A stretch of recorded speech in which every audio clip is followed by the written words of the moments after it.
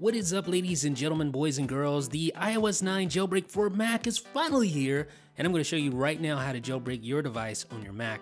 So first of all, we want to go to settings, make sure that Touch ID and passcode is turned off, make sure that Find My iPhone is turned off or you're signed out of iCloud, make sure airplane mode is enabled, make sure your device is connected to your Mac, and now let's head over to our Mac. You can find the download for the Pangu tool for Mac on our downloads page. Once you download it, save it to your desktop, double click this little icon here, click open. You want to make sure that iTunes is closed out first, so we're going to do that first. Quit. All right, now let's double click on it again, click open. And we're ready. It recognizes your device. So it recognized mine, make sure it does yours as well. And we're just going to click start.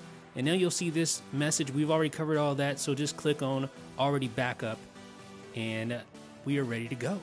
So the jailbreak is now beginning and you can see it working, backing up, configuring the environment. I've sped this up obviously a little bit.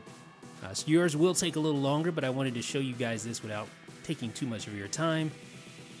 And now once the device boots up, you want to enable airplane mode. So I'm going to unlock, swipe up, tap airplane mode, and there we go.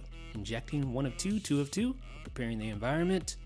Now please unlock the device is already unlocked, so swipe over and tap the Pangu icon just like this, and then you'll see this message, just tap accept, and then tap OK here, and now the jailbreak continues.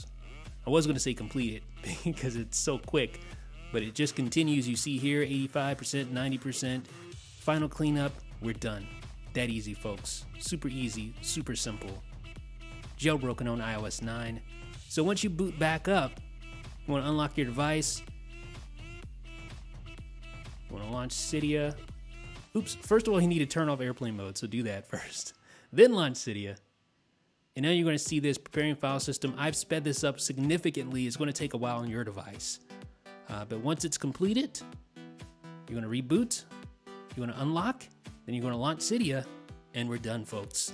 So ladies and gentlemen, that is how you jailbreak iOS 9 using the Pangu tool for Mac. Let me know what you guys think down below in the comment section. This is Jeff with iDownload Blog.